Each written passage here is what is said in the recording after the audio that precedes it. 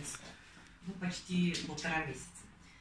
А, до этого у меня был сахарный диабет уже почти 4 года. Я боролась вообще, не знала, как мне от этой исправить, уйти от этой проблемы. Я и таблетки пила. Какие заказывали таблетки мне по 3 700 и по 4 тысячи. Я все их перепробовала. И сыпь у меня выходила, я все равно через какие-то там маленькие дозы все равно пробовала. Диета у меня была вообще идеальная. Капуста и перловка. Больше ничего не ела. Утром только овсяная каша. Все это на воде, без соли, без сахара. Конфету я вообще даже не видела, что это такое. Ну и вот, вот так вот я вела, короче, себя уже почти 4 года. На инсулин меня посадили почти через полгода, как сахарный диабет, потому что он начал резко у меня увеличиваться. Сначала он у меня был 18, потом 22, потом 24, 27, и когда дошли до 28, они меня посадили на инсулин. Но я, как бы, вот как все мы, э, думаю, это же хорошо, потому что врачи же как бы за нас, да, борются. Но я поверила тем докторам, у которого я лечилась. Я, значит, начала колоть инсулин. Я сегодня, значит, э, колю 5 единиц э, утром, вечером, например, 8 единиц. А улучшения-то у меня никакого. Я утром просыпаюсь, я как выжатый лимон, как будто бы я сходила на разгрузку вагона, у меня все болит, у меня внутри все трясет, я не могу ни есть, меня тошнит. И вот, вот, ну вообще, я, получается, не жила. Я опять начинаю колоть этот инсулин, э, только уколола, мне жрать сразу не то, что кушать, мне жрать охота. Я даже не знала, как себе там вот Просто я только вот так вот надувалась, надувалась, у меня началось вот эти вот все жировые отложения, потому что, ну, если женщина, ну, пусть я даже не комплексовала, но все равно это как бы некрасиво, это вот, э, ну, было плохо. Потом, значит, очередной раз лежу на диване, и говорю дочери, я больше не буду колоть инсулин. А мне инсулин, получается, сначала один, потом второй, потом третий. Они не могли мне подобрать. Потом дозу доводили до 20 единиц уже.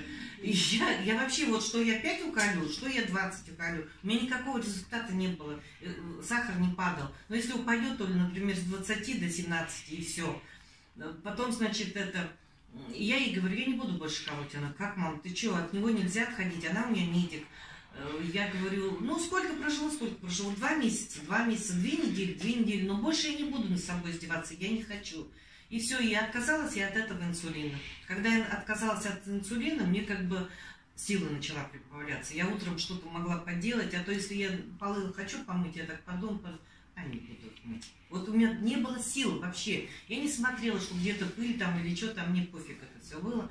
А тут у меня как бы какая-то сила появилась, думаю, ладно, помой полы там, там еще что-то. Это когда я отошла от инсулина.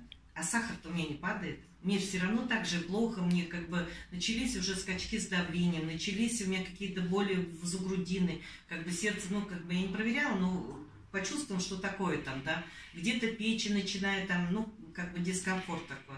И я обратилась э, к препаратам Бэби начала, ну, я как бы изучила, да, там, что там сахарный диабет уходит, там, хотя я очень давно к этим БАДам-то присматривалась и пила, китайские у меня там БАДы были, китайские БАДы тоже интересно работают. Я начинала, когда пить, оно сбавливает, сразу раз-раз упал, вот бы в норму приходит, ну, не то, что в норму, ну, когда э, хорошо получается, только я начинаю привыкать к ним, например, месяц-полтора попью, все, у меня результата нет, у меня сахар опять хопа, подскакивает до 25. И также с Бэбиком получилось. Но Бэбик я пила очень долго, 7 месяцев. У меня сахар вообще не падал. Я вот у кого брала, я говорю, Наташа, ну не падает у меня сахар, она, ты потерпи. Ну сколько могу терпеть-то? Я 7 месяцев пью, у меня нету результата никакого. Она говорит, ну что, вообще нету? Я говорю, вообще нету. Я только с туалета не выползаю и все. Она говорит, ну это же хорошо. Я говорю, я понимаю, что если бы это было хорошо, что там один-два раза сходить в туалет, да, что как бы очистка там пошла, но это же постоянно, я же не могу вот куда-то выйти и горшок за собой таскать. Это же неприлично. И вот, и, короче, я потом говорю, хорошо, все, больше я не буду брать. Она, ну попробуй еще ночные. Зачем мне ночные, когда сон у меня как бы качественный, я сплю нормально. Потом, когда вот Ирина мне предложила, я, конечно, сразу не взяла, я сначала все это посмотрела. У меня же сахар, я смотрела отзывы только по сахарному диабету.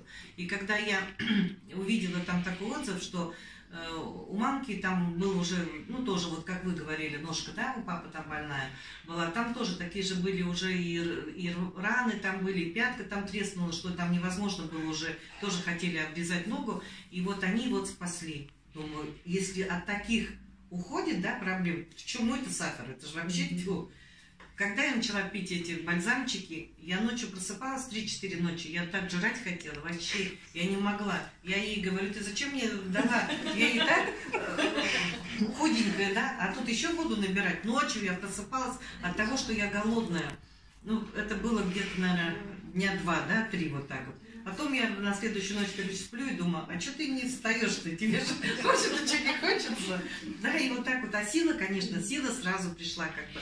И сахар у меня с 27, это вот последний у меня такой прыжок был, что 27. Я даже не знала, внучку мне куда деть, то ли в скорую звонить, что, потому что мы вдвоем с ней были.